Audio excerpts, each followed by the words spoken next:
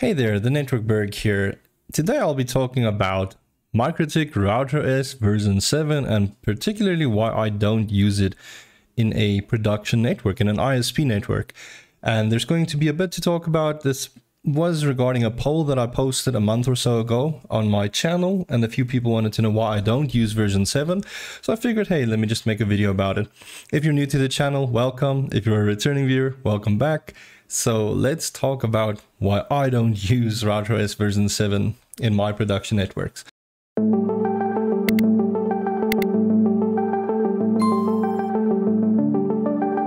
So usually I'd skip to my presentation or my tutorial bit here and we'll we'll showcase that stuff as well but now we're just gonna actually see eye to eye and actually talk a little bit about the things that I dislike about RouterOS version 7. And I want to make it clear, it's almost like a disclaimer. I love MikroTik and I love router RouterOS version 7. It's definitely a step up and it is going the right direction. And it's totally fine to use this MikroTik version on any just normal router for any standard things that you're using, especially if it's a fresh setup, then I can definitely recommend using RouterOS version 7. I think it's perfect for those new type of setups. But my issue comes in with existing configuration, perhaps you've got a router, it's got a ton of bit of extra configuration that you've added over the years, or if you're an ISP and you are running multiple different customers across your ISP network and you're dealing with stuff like MPLS and BGP and OSPF and route reflectors and all kinds of crazy stuff, then I unfortunately I can't recommend RouterOS version 7 for that because there is still some bugs and glitches. And that is the main reason I'm not using RouterOS version 7 for my production environment because there's stuff like BGP VRF spanning that doesn't work correctly. They they released a new version I think a couple of weeks ago that kind of fix um, VRF spanning between two BGP neighbors, but it doesn't fix the issue with route reflectors. Route reflector still doesn't work properly, so you can't really use this for your bigger type of networks. And for me, and I feel for many WISPs and other maybe fiber to the home, maybe even fiber to the business providers, whenever they're using MikroTiks, it's not um, because they're too poor to buy something like Cisco or Juniper or whatever. It's just because MikroTik is such a good fit for that niche and it works well. And yes, it is inexpensive, but it, it just works. But if I'm going to version 7 and suddenly features that I used in version 6 doesn't work anymore, then you know it's it's difficult to recommend using that version for an ISP network because you're going to have a ton of issues, especially if you're in my situation where you might have hundreds of different routers and there's a lot of configuration on that routers and maybe there's some bug that haven't hasn't even been picked up yet. And now you upgrade your MikroTik to version 7 and all hell breaks loose. And you can't afford that. You can't have that downtime. You can't go and now now you need to reload from a backup and you need to net install back to version 6 it's it's really a, a tedious and almost uh, an un unfortunate um, issue. And that, that's something that I feel is a bit weird with MikroTik as well because I see a lot of users on forums and Reddit and whatnot recommending if you want to go from version 6 to version 7 that you need to net install to version 7 and that I feel is completely incorrect but because no other vendor makes you do that no vendor wants you to factory reset your device and then upgrade to the latest version and then reset up all your stuff from scratch. It's it's really unheard of. So the fact that I see users recommending that to each other, I haven't seen that from MikroTik. I've just seen users saying it, but that's kind of just the general consensus.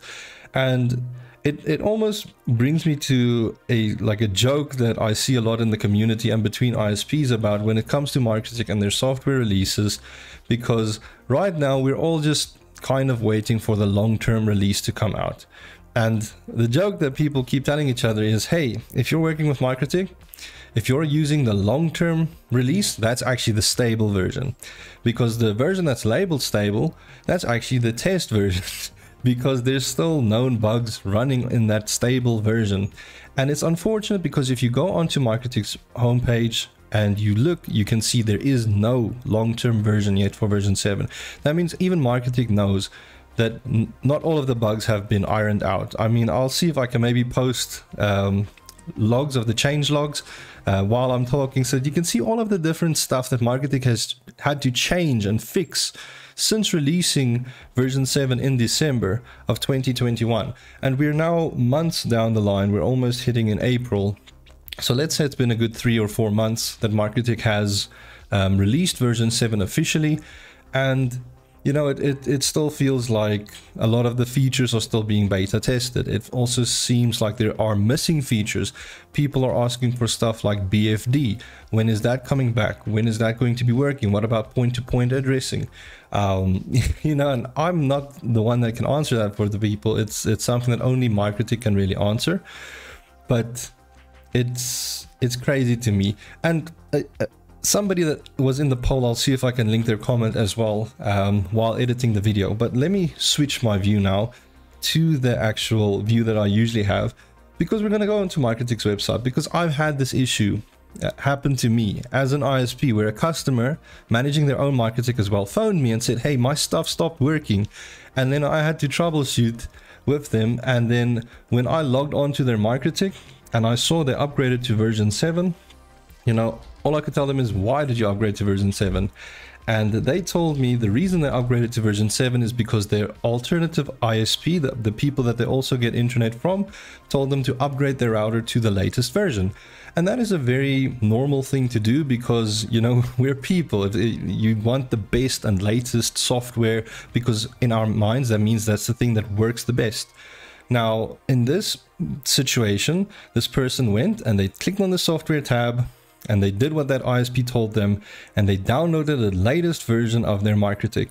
Now this is also a, a, bit of a griping issue for me is I come here to look at what the software is that I can download and what's the first thing you see? You see RouterOS version 7.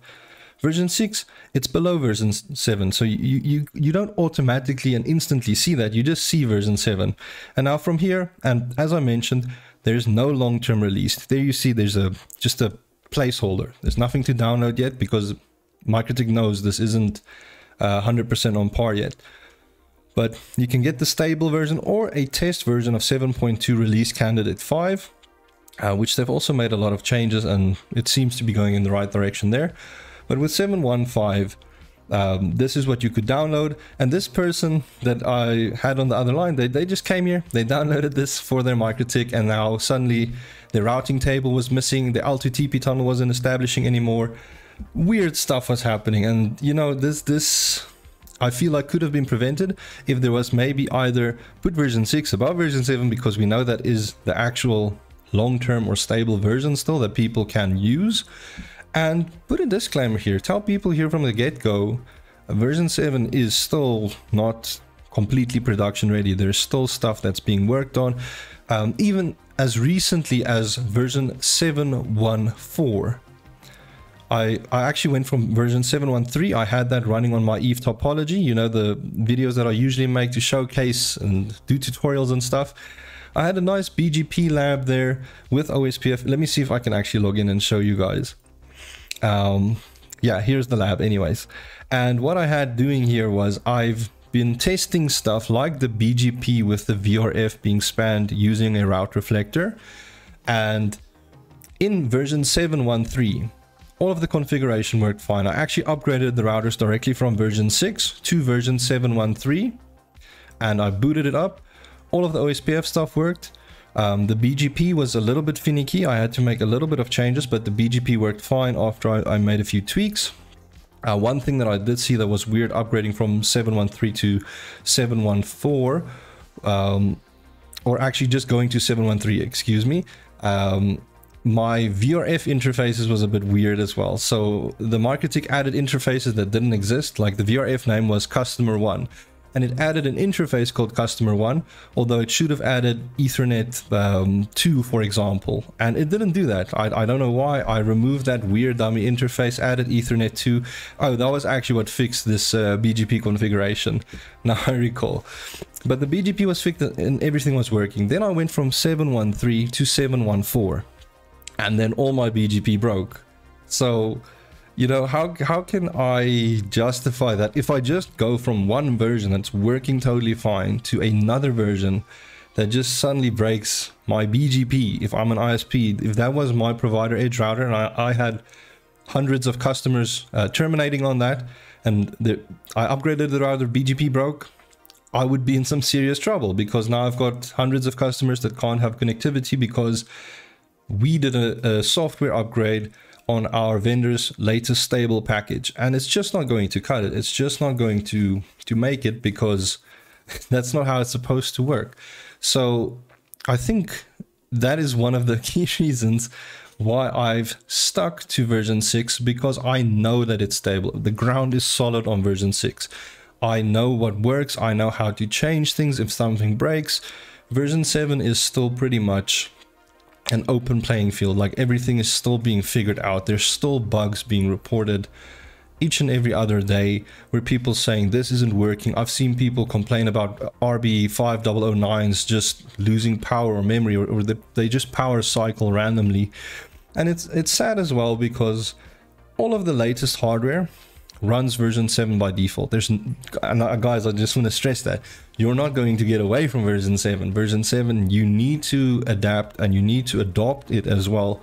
But if you're using any of the new hardware, you are going to be stuck on version 7. And like I said in the beginning of the video, version 7 is totally fine if it's a new setup and you're just adding things as it comes and then you'll see maybe something doesn't work when you've added that new bit of config. Then you know exactly what you can report to MikroTik and they can help you fix the issue. Then it's perfect. But for networks that have a lot of configuration existing config migrating to version 7 that's a completely different story.